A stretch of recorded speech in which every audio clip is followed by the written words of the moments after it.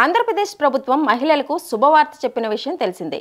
ఎన్నికల హామీలో భాగంగా ఇచ్చిన మూడు ఉచిత గ్యాస్ సిలిండర్ల పథకం అమలు చేసేందుకు సిద్ధమైంది. ఈ పథకాన్ని దీపావళి రోజు ముఖ్యమంత్రి చంద్రబాబు ప్రారంభిస్తారు. ఈ పథకానికి సంబంధించి ప్రభుత్వం ఇచ్చిన మార్గదర్శకాలతో అర్హులైన వారికి సిలిండర్లు అందజేస్తారు. ఎల్పీజీ కనెక్షన్ ఉన్న అర్హులైన ప్రతి కుటుంబానికి ఏడాదికి మూడు సిలిండర్లు ఉచితంగా ఇవ్వనున్నారు. అయితే ఈ పథకం ఎలా అమలవుతుంది? ఎవరెవరు అర్హులు అనే దానిపై ప్రభుత్వం క్లారిటీ ఇచ్చింది.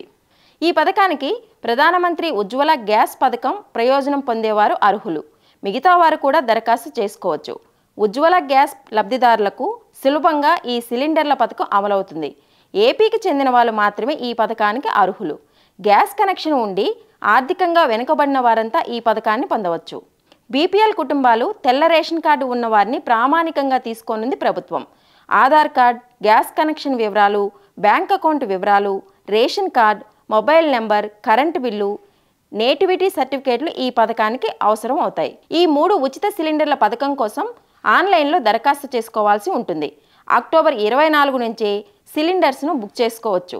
అక్టోబర్ ముప్పై ఒకటి నుంచి ఉచిత గ్యాస్ సిలిండర్ల పంపిణీ ప్రారంభమవుతుంది. లబ్ధిదారులు ముందుగా మొత్తం డబ్బులు చెల్లించి గ్యాస్ సిలిండర్ తీసుకోవాలి. తర్వాత రెండు రోజుల వ్యవధిలో లబ్ధిదారుల బ్యాంకు ఖాతాల్లో గ్యాస్ సబ్సిడీని జమ చేస్తారు.